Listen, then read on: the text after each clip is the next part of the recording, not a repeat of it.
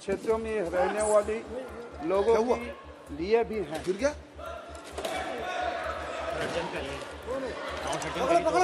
सभा की कार्यवाही दो बजे तक के लिए।